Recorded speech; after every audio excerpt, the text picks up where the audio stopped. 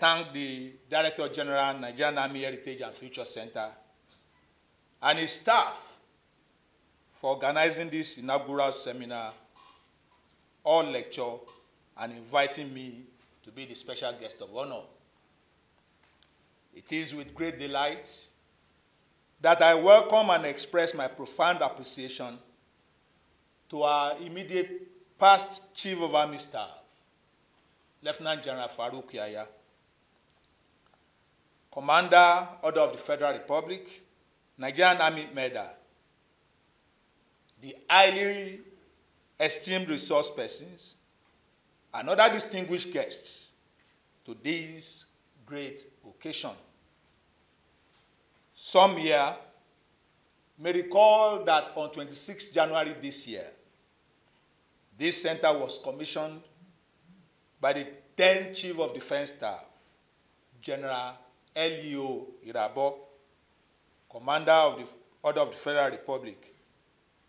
On that same day, General Yahya, who was the Chief of Army Staff, conceptualized and facilitated the establishment and construction of the center, also inaugurated this center. I recall General Yahya, in his address at that occasion, charged the pioneer staff of the center on the need to hit the ground running and bring ideas that are noble to this center. I'm pleased to observe that in line with the charge on that all-important day, the pioneer director general of the center, Major General K.O. Kadiri, retired, led his team of dedicated staff officers and soldiers to begin the process of laying a solid foundation for the Nigerian Army Heritage and Future Center by crafting its motto, mission, and vision statements.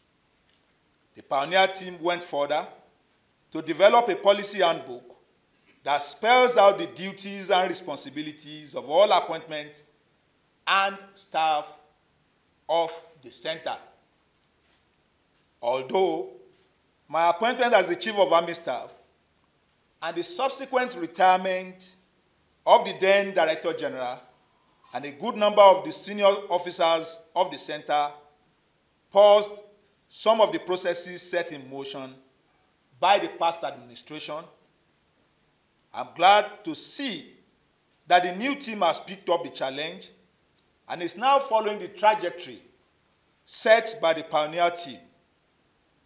This continuity testifies to the quality of ideas generated and initiated by the pioneer team, and I wish to salute them for such an excellent job. Holding seminars or lectures on topical issues that benefit the Nigerian Army is one of such noble ideas that the new Nigerian Army Heritage and Future Center management has come up with. Today's maiden or inaugural lecture sets this center on a new pedestal in its quest for excellence in generating quality and valuable ideas for the Nigerian Army.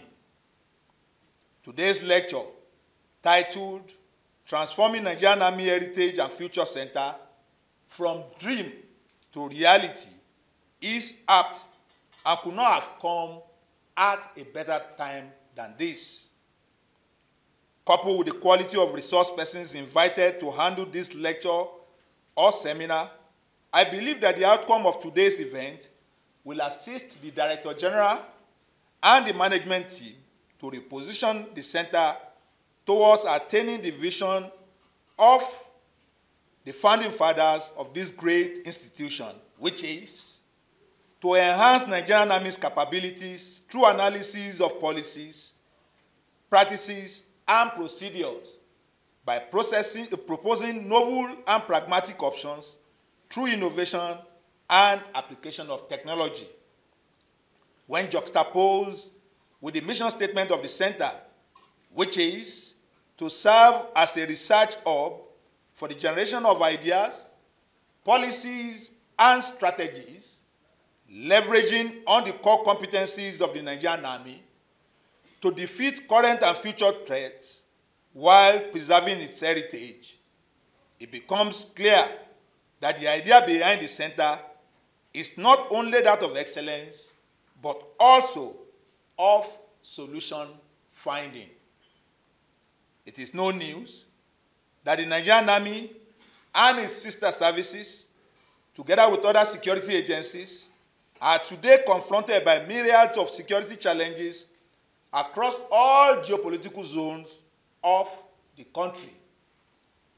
These challenges, which range from terrorism, banditry, kidnapping, farmers-herders clash, and oil theft, have continued to adapt to and defy solutions.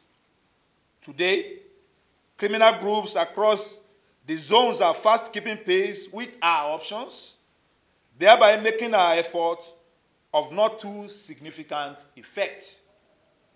Therefore, establishments such as the Nigerian Army Heritage and Future Center must rise to the occasion by equally turning out options for the Nigerian Army at a pace the bad guys cannot keep up with.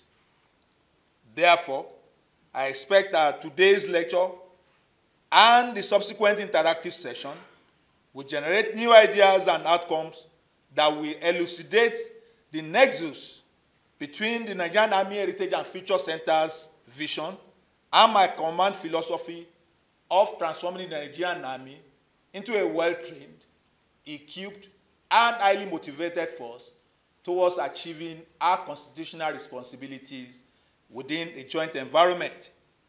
Finding such a nexus will help align the center with my philosophy of command and make the center a veritable tool for achieving my vision for the Nigerian Army.